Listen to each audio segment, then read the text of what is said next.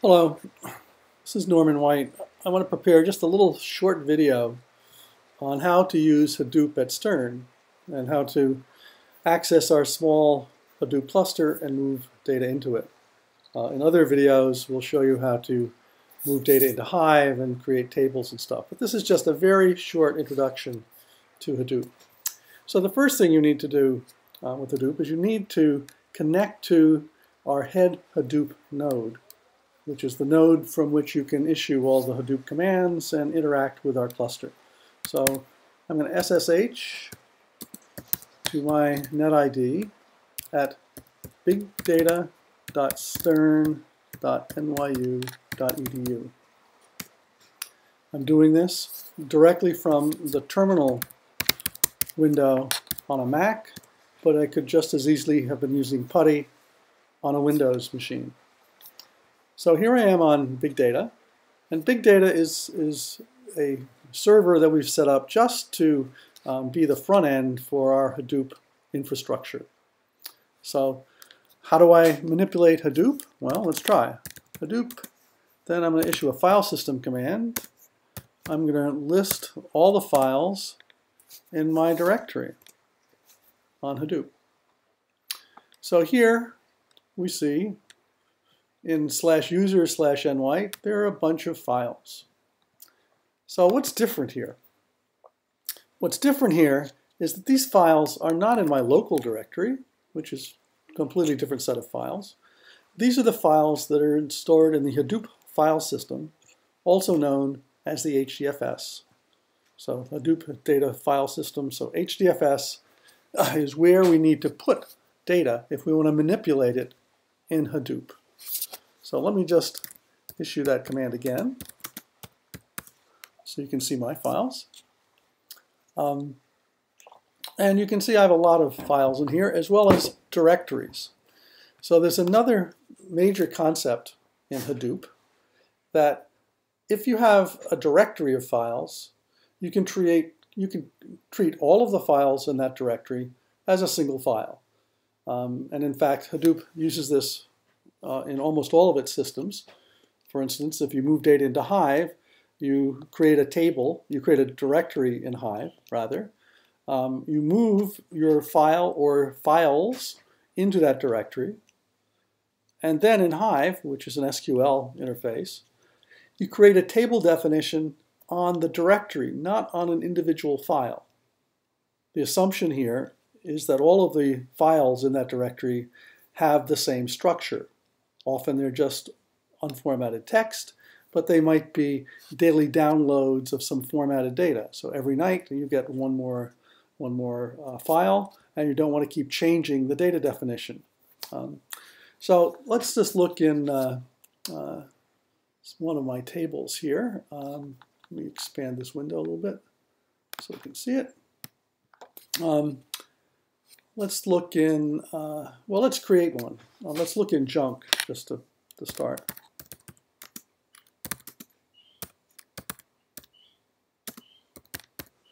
And notice I just have to give the name of the directory. I don't have to put slash user slash ny. It defaults to that. And there's nothing in junk, so let's get rid of it.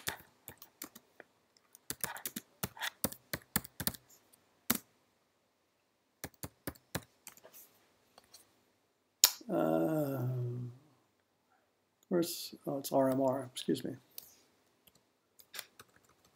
So the file system manipulation commands are similar but not quite identical to Unix or Linux. Okay, so now user ny junk is gone, so let's create a new one.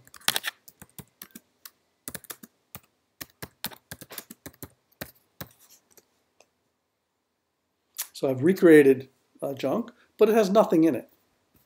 So if I want to put a file in it, let's see if I have any text files sitting around in my directory.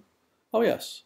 So I've got sure sure.txt and minnesota.txt. Um, let me look at, this is I think the all the stories of Sherlock Holmes. Yes, this is the Gutenberg project of the adventures of Sherlock, Sherlock Holmes. So let's move that from my local file system my local directory. into the Hadoop file system.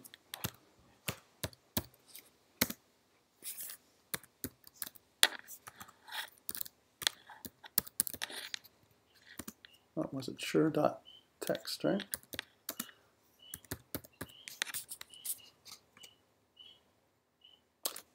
So that is now taken a, a Linux file, sure.txt, and moved it into the Hadoop file system. Now, from other videos or other lessons, you should know that the Hadoop file system is a distributed file system, so that file has now been split into many pieces. Um, but we don't have to worry about that when we process it. So let's now look, I'll look into junk. That's ls recursively, do a list files recursively. And there is my sure.txt. If I want to take a look at it,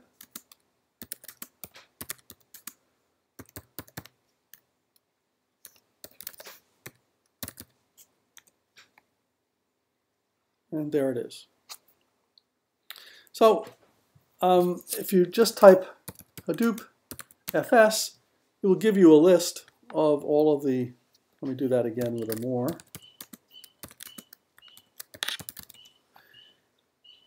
Um, and more didn't work. Uh, make this window bigger. And you can see some of the, the Hadoop commands. So you can Google Hadoop and you'll find all the different commands. So these are the file system commands that allow you to manipulate, to move files into the Hadoop cluster, uh, manipulate them, change their names, create directories, um, change their uh, uh change their access rights, all the standard file system commands. They are not the MapReduce processing commands. That you need to know about from someone else, uh, at least not from this video. This video is just wants to show you how to access the Stern Big Data Cluster and move data into it in order to, to process it. Um, so that's all for now. Uh, at this point, you should be able to know how to get data from a directory in the Big Data Cluster um, and put it um, into the HDFS. But remember now, it's a two-step process. You still need to get the data into the, the big data server, onto your directory, or in our case, we have a, direct, a, a very large folder. If you're dealing with big files, we have a folder called BigTemp that you can put your files in. Um, and you can see we have a lot of students and faculty who are using it. Many files in here. Um, what we ask you to do is if you move data from big data, and you can move it either with SFTP, with SCP, um, with uh, wget if you are trying to get a text file from another website. There are many ways. Um, so you, you, you would do something like this. Make their AJ123 if that happens to be your net ID in Big Temp. CD AJ123. And now you can SFTP data in or you can SCP data from another site if you know where it is, or you can wget data from a website and bring it into this directory. And then you'll use the Hadoop file system commands to move that data from your BigTemp directory into the HDFS. So you, before you even do anything, you need to at least have PuTTY or have a Mac machine that has terminal on it and you have to have either SCP, wget, or SFTP available, all of which are on the Mac. Um, on Windows machines, you have to use PuTTY. Sometimes you have to use Cygwin um, to deal with some of these commands. Okay, that's all for now.